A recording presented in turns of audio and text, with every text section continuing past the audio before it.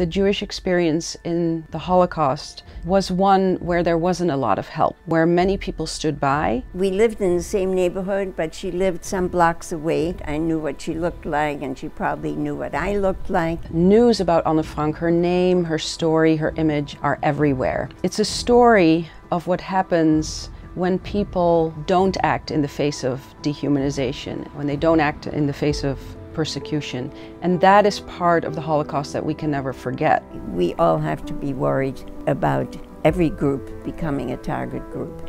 And so that makes it even more important that we have a social conscience. Persecution and genocides happen still today. Discrimination happens today. Hatred happens today. Anna wasn't here to tell her story.